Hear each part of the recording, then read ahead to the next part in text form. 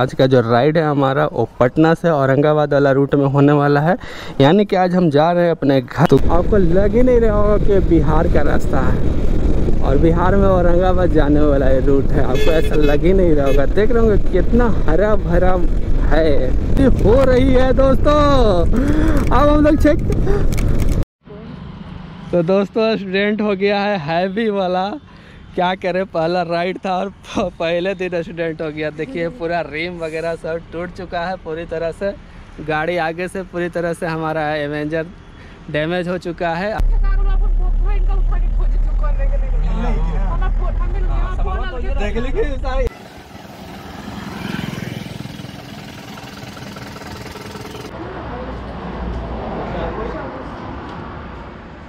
Hello दोस्तों, मेरा नाम है सोनू कुमार और आप देख रहे हैं सोनू द राइडर चैनल। देख रहे होंगे हमारा एवेंजर 220 क्रूज यहाँ पे रेडी है। अब थोड़ा सा इसको हम साफ़ कर देते हैं। हल्का फुल्का धूल इस पर पड़ गया है। और आज मैं आपको बता दें कि आज का जो राइड है हमारा, वो पटना से औरंगाबाद वाला रूट में होने वाला है। यानी कि आज हम जा रहे हैं अपने घर। तो गाड़ी को मैंने करीब करीब साफ़ कर लिया जैसा कि आप देख रहे होंगे। अब हल्का फुल्का जो धूल है, उसको धुलवा देंगे। साइड वाला दोनों चक्का हमारा रेडी है। सब चीज़ सही है। यानी कि सत्तर अस्सी किलोमीटर लगभग आज इस गाड़ी को चलना है एक बार में। तो सारा चीज़ ओके है। बैसाखी वगैरह मैंने रख लिया है। अब चलिए हम बैठते हैं और राइड को स्टार्ट करते हैं।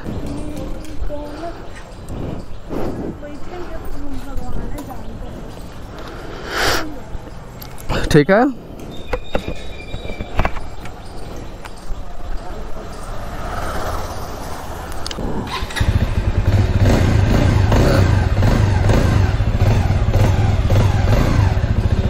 तो चलिए दोस्तों राइड को स्टार्ट करते हैं हर हर महादेव के नाम के साथ। तो बोलिए, हर हर महादेव। और देखिए, हमारा राइड स्टार्ट हो चुका है। अब यहाँ से हमें सबसे पहला काम ये है कि आंटी के रूम पे जाना है और आंटी के रूम पे जाके वहाँ पे कुछ सामान रह गया था रात वाला। रात में हम लोग का पार्टी हो रहा था तो उसका कुछ सामान बचा हुआ है। तो उसको आंटी के रूम पे छोड़ देना है और उसके बाद हम लोग घर की तरफ़ निकल जाएँगे। तो आंटी के पास जो सामान देना था, वो हम लोग दे चुके हैं। अब हम लोग निकल चुके हैं घर के लिए। मौसम देख रहे होंगे, काफ़ी प्यारा किया हुआ है। यानी कि धूप नहीं है और बादल छाए हुए हैं, जिससे कि हमारा जो राइड है, वो और ज़्यादा अच्छा होने वाला है। अभी हम आ गए हैं पोस्टल पार्क वाले रोड में। ये आप पोस्टल पार्क वाला रोड है और इसी से हम चिड़िया टाल पुल की तरफ़ जा रहे हैं। और आपको सारा चीज़, आपको फुल यहाँ का, यहाँ से हमारे घर का जो रास्ता है, वो आपको दिखाएँगे। ये भी दिखाएँगे कि वहाँ पे रोड कंडीशन आपको किस तरह का देखने को मिलने वाला है। मैं आपको बता दूँ कि हमारा फ़र्स्ट ब्लॉग है मोटो ब्लॉग, जिसमें मैं ऑडियो के साथ आपके सामने आया हूँ। तो हो सकता है हमें बोलने में कुछ दिक्कत हो, क्योंकि फ़र्स्ट मोटो ब्लॉगिंग है धीरे धीरे हैबिट हो जाएगा। तो आप लोग हमें माफ़ कीजिएगा और हमारे चैनल को सपोर्ट कीजिएगा प्लीज़ तो अभी सामने की तरफ़ आप देख रहे होंगे, चिड़िया टाल पुल आपको देखने को मिल जाएगा। देखिए, हम आ चुके हैं दुर्गा मंदिर, जैसा कि आप देखेंगे जय माता दी। और हमारा राइड अब स्टार्ट हो चुका है माता के आशीर्वाद से। अभी हम चुनेटाल पुल पे चढ़ चुके हैं।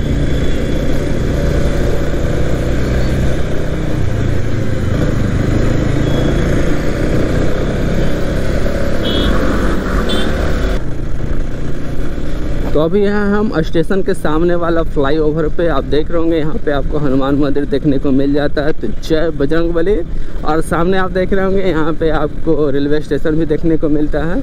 तो अभी हम उसी के जस्ट सामने वाला ओवर ब्रिज पे हैं, आप देख रहे हैं। तो यहाँ से अभी हम क्रॉस कर रहे हैं और हम जा रहे हैं कहाँ? जैसा कि हमने आपको बताया, औरंगाबाद वाले रूट में, पटना टू औरंगाबाद वाले रूट में हमारा घर पड़ता है। मैं अपने घर जा रहा हूँ। और साथ ही मैं अपना घर का, अपने गाँव का सारा ब्लॉग आपको दिखाऊँगा आगे आने वाले वीडियोज़ में। और घर के आसपास कौन से क्षेत्र पड़ते हैं हमारे, वो भी आपको आगे आने वाले ब्लॉग में देखने को मिलेगा। साथ में एक सरप्राइज़ है आप लोगों के सामने, जो कि मैं आपको आगे नेक्स्ट वीडियो में रिवील करूँगा। काफ़ी बेहतरीन सरप्राइज़ मैं आपके लिए लेकर आया हूँ। अभी हम जी पी गोलम्बर के पास है और यहाँ से हमें सीधे लेना है।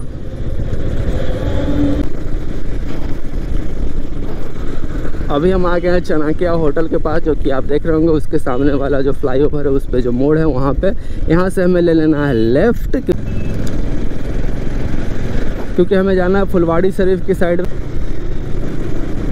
तो देख रहे होंगे, सामने आपको बोर्ड दिख रहा होगा फुलवारी शरीफ जाना है तो सीधे जाइए। हमें अभी फुलवारी शरीफ की तरफ़ ही जाना है तो मैं यहाँ पे सीधा जाऊँगा। यहाँ पे मैं कोई टर्निंग नहीं लूँगा। पटना एयरपोर्ट भी आपको सामने ही मिलेगा, इसी रास्ते में, अगर आप पटना से निकल रहे हैं तो।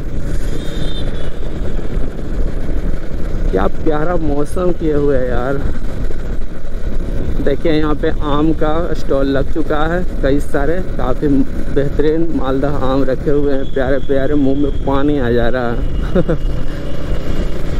मौसम तो इस कदर ख़राब है कि लग रहा है कि हम लोग बारिश के चपेट में आ भी सकते हैं। यहाँ पे देखिए एक चौराहा है जो श्री लालू प्रसाद जी ने बनवाया है। यहाँ पे उनका नाम लिखा हुआ है।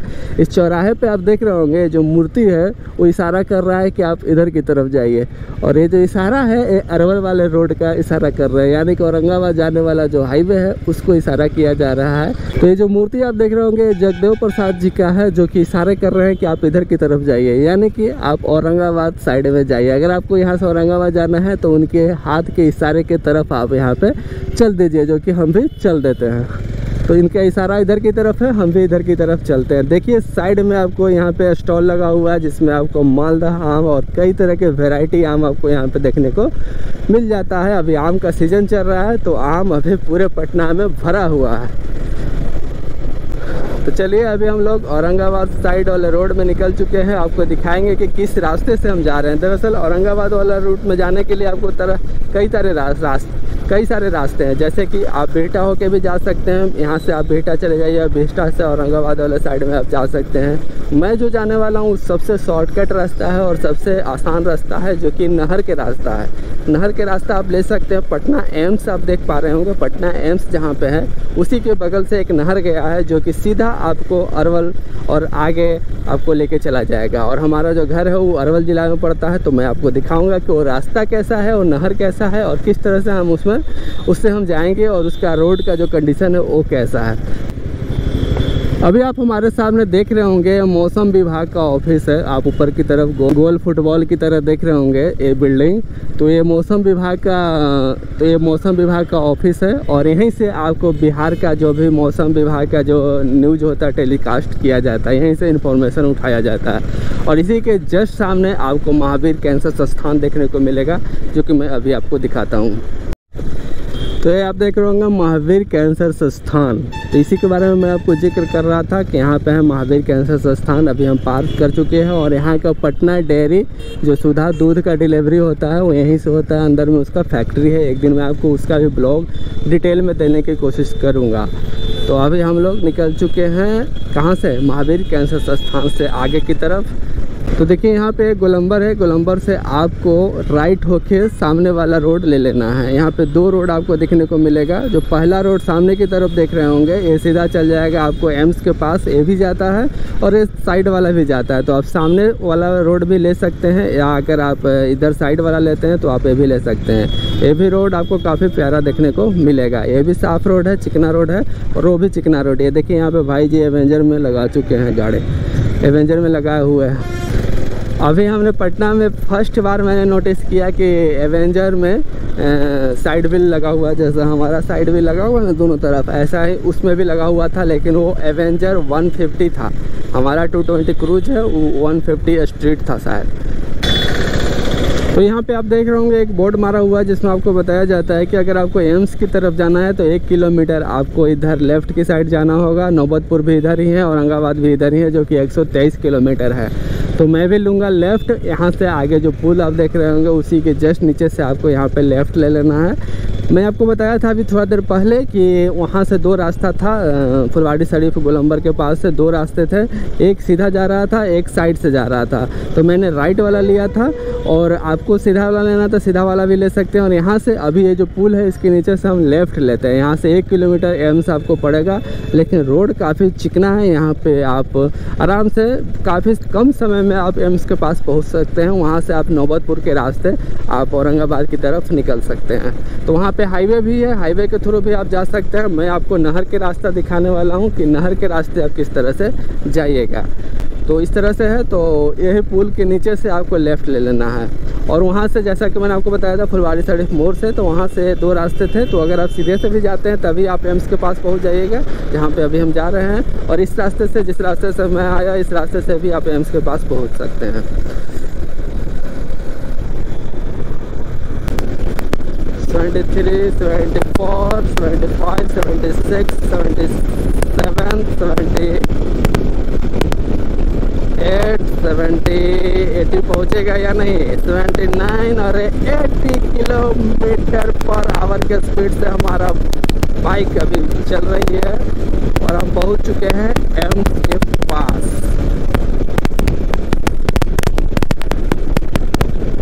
तो अभी हम लोग एम्स के पास पहुँच चुके हैं। आप देख रहे होंगे, इधर की तरफ़ आपको एम्स देखने को मिलेगा। ये जो गुलंबर है, इस गुलंबर से अगर आप लेफ़्ट मुड़ जाते हैं तो आप एम्स के पास चला जाएगा, फुलवारी शरीफ चल जाएगा नौबतपुर और अगर आपको अरवल जाना है तो आपको राइट की साइड और अगर आपको नौबतपुर और अरवल जाना है तो यहाँ से आपको राइट साइड लेना होगा। अब यहाँ से भी दो रास्ते हैं, वो मैं आपको दिखा देता हूँ। सबसे पहले तो जो ट्रक है, इससे मैं आगे होने की कोशिश करता हूँ, अगर हो पाऊँ तो। उसके बाद ही आपको दिखा पाऊँगा। हाँ तो यहाँ से आप देख रहे होंगे दो रास्ते हैं। एक तो आप यहाँ से सीधे जो रास्ता है, नौबतपुर चला जाएगा और इससे आप हाईवे को पकड़ सकते हैं। दूसरा जो रास्ता है, वो यहाँ पे आप देख रहे होंगे नहर वाला रास्ता है। यहाँ से आप नहर की तरफ़ जा सकते हैं। तो यहाँ पे कुछ बिस्किट वगैरह का दुकान है तो हमें यहाँ से एक ओरियो बिस्किट लेना है, जो कि मैं परचेज करने वाला हूँ, और उसके बाद मैं ए वाला रास्ता लूँगा। जो कि जाएगा नौबतपुर, ये नहर वाला रास्ता है और ये मेन रास्ता है। ठीक है तो?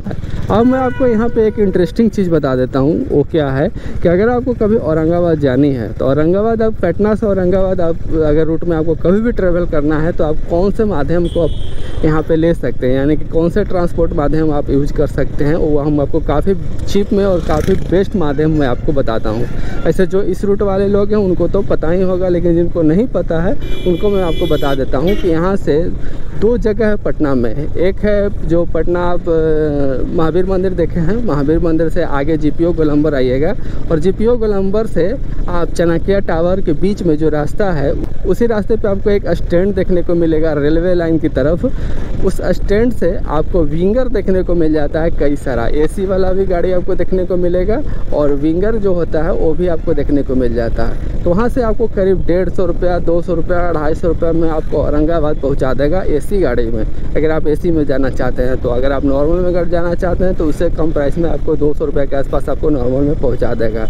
इसी रूट से वो गुजरती है विंगर और काफ़ी कम समय में, और आपको फील भी नहीं होगा कि कितना जल्दी हम पहुँच गए क्योंकि रोड सही है और विंगर की क्वालिटी भी सही होता है तो आपको कोई दिक्कत नहीं होगा। ये तो हो गई पहला चीज़। दूसरा चीज़ सेम यहाँ से आपको स्कॉर्पियो वगैरह या आपको बोलोरो वगैरह या विंगर या विक्टा वगैरह आपको देखने को मिल जाता है, वो है गांधी मैदान से। गांधी मैदान में आप जानते होंगे कि गांधी मैदान अगर, गांधी मैदान जहाँ पे कारगिल चौक है, कारगिल चौक की तरफ़ से आपको ब्लोरो, स्कॉर्पियो और विक्टा, ये सारा चीज़ आपको देखने को मिलेगा इसी रूट में, जो कि पटना से अरवल जाता है, पटना से औरंगाबाद जाता है। जो कि आप गांधी मैदान से ले सकते हैं, या तो अगर आप यहाँ से लेना चाहते हैं जी गोलंबर के पास से तो यहाँ से भी आप ले सकते हैं। तो ये दो माध्यम है, जिसके माध्यम से आप छोटे वाहन में आप ट्रेवल कर सकते हैं इस रूट पे काफ़ी कम प्राइस में और काफ़ी सुविधा से।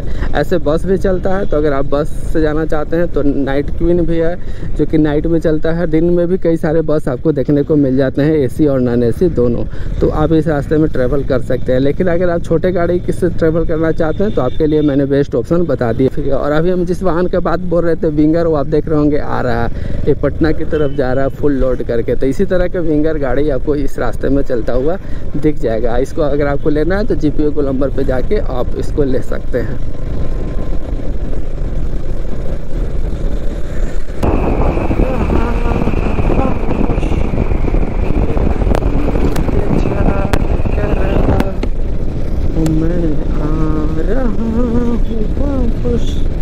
मेरा इंतज़ार करना तुझे सामने बिठा के तुझसे प्यार करना और तुझे सामने बिठा के तुझसे प्यार करना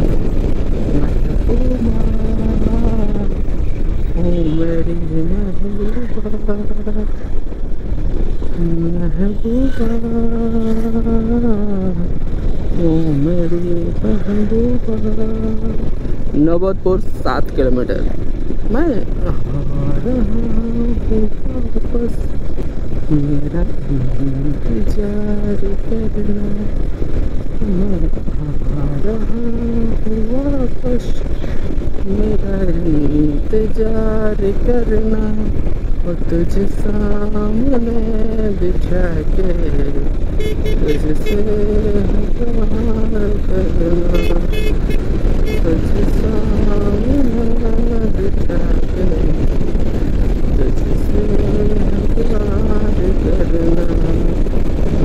महबूबा ओ मेरी महबूबा महबूबा ओ मेरी महबूबा डिंग डिंग डिंग डिंग डिंग डिंग डिंग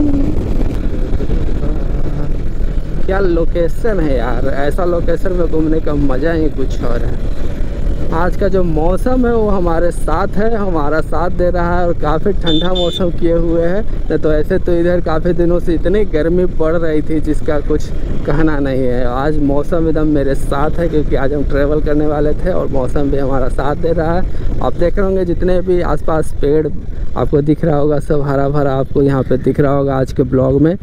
दोनों साइड से पेड़, बीच में रास्ता, काफ़ी चिकना सा। रोड काफ़ी मस्त है इस रूट का। आप डेढ़ घंटे में आप पहुँच सकते हैं यहाँ से जो हमारा घर गाँव है वहाँ पे मैं डेढ़ घंटा में पहुँच जाता हूँ जो कि करीब 70 से 80 किलोमीटर है इसी रूट पे तभी भी देखिए अभी नौबतपुर हम लोग आ गए हैं ज़ीरो किलोमीटर दिखा रहा है और आम तो आपको हर जगह सिर्फ़ आम ही आम देखने को मिल रहा है चुराना करना पटना से निकलेगा तो बीस पच्चीस किलोमीटर के पास या तीस किलोमीटर के पास आपको नौबतपुर बाज़ार दिखेगा, जो कि छोटा सा बाज़ार है। तो अभी हम लोग नौबतपुर आ चुके हैं और फिर से हम यहाँ से ये जो आप पकड़िएगा, ये भी एक रूट है जाने का। मैं इस रूट को पकड़ रहा हूँ शुरू से। अरे बेगवा गिर जाती तो कभी है ना, कभी है ना।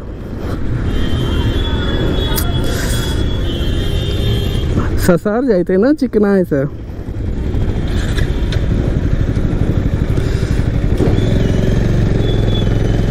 तो ये नौबतपुर का लक है, जो कि आप देख रहे होंगे। और यहाँ से अभी हमें नौबतपुर हम लोग छोड़ चुके हैं और इसके आगे हम लोग निकलने वाले हैं। सामने आप देख रहे होंगे, टंकी पर मैंने एक बैग रख रखा है, जो कि स्लिप कर रहा है। ये टैंक बैग नहीं है, ये नॉर्मल बैग है जो इसको आप पीठ पे इस्तेमाल करते हैं। स्टूडेंट लोग अपने क्लास में ले जाते हैं, यानी कि नॉर्मल कपड़े वाले बैग है जो पीठ पे हम लोग लेते हैं। तो ये स्लिप कर जा रहा है। सामने आप देख रहे होंगे जेसीबी आपको दिख रहा होगा। जेसीबी की खुदाई अगर आपको देखना है तो इसके साथ आप जा सकते हैं। जेसीबी की खुदाई आपको देखने को मिलेगा। फ़िलहाल हम जेसीबी की खुदाई नहीं देखना तो मैं साइड से निकल लूँगा। अगर आपको देखना है तो आप जेसीबी की खुदाई देख सकते हैं। यहाँ पे मैं गियर बढ़ाता हुआ, गाड़ी को थोड़ा सा स्पीड करता हुआ निकल रहा हूँ। इधर कुछ स्लम्स लोग बसे हुए हैं, यहाँ पे स्कूल है। और जैसा कि मैंने आपको बताया था कि मैं नाला रो, नहर वाला रोड ले रहा हूँ तो अब नहर यहाँ वहाँ आपको देखने को मिल रहा होगा। मौसम आज काफ़ी मस्त है। अब नौबतपुर था, नौबतपुर से आगे अब आपको विक्रम मिलेगा। अभी हम विक्रम की तरफ़ अब जाने वाले हैं। रात बीते।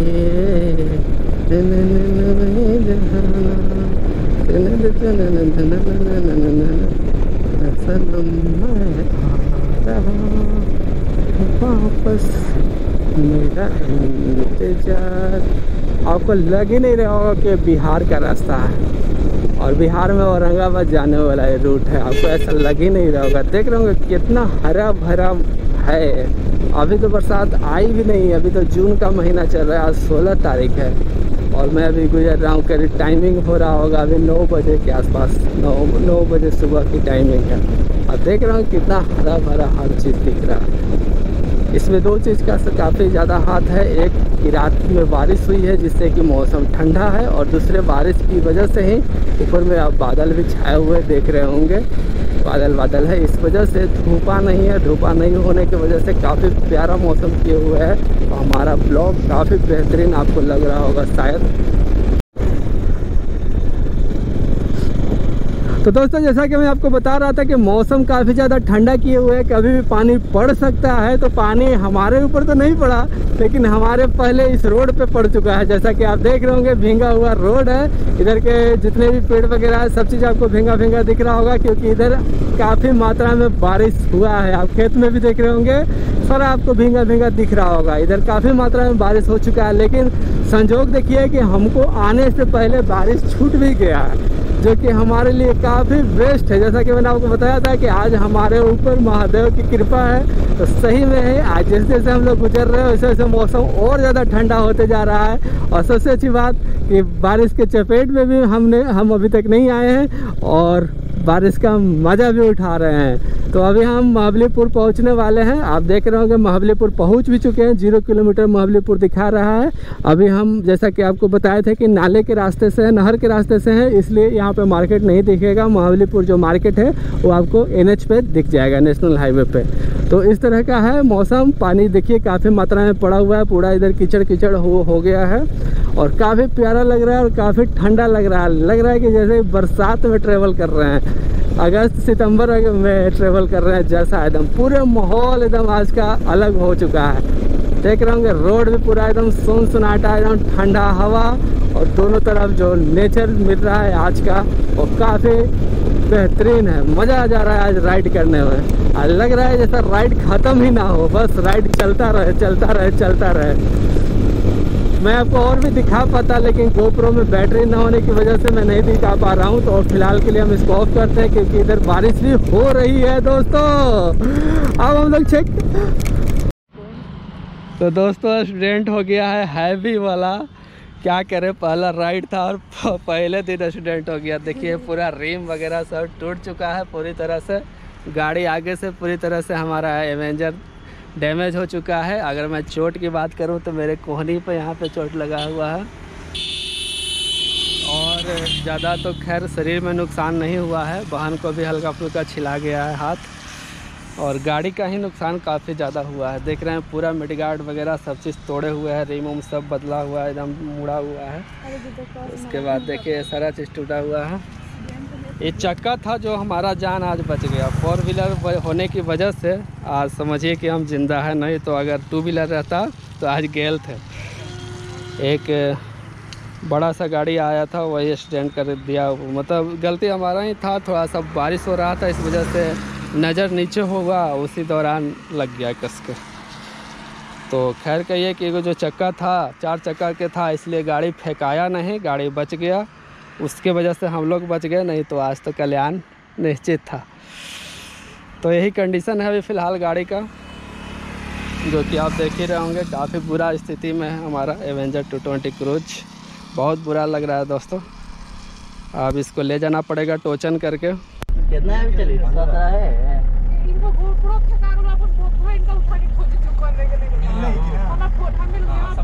देख ली कि एक तो गाड़ी बीस हज़ार लगा बीस हज़ार हो गया हाँ लेकिन बंद है से आग ले नहीं खोल के देवी चल अच्छा कोई बात नहीं आप भी कर लेती टोचर कराई पहले राइट वाले पिकअप ले आवा तो वाह हज़ार दो हज़ार द मौका का फ़ायदा उठाता ना हम अपने मान ले पहले राइड में पहले टोचर हो गया।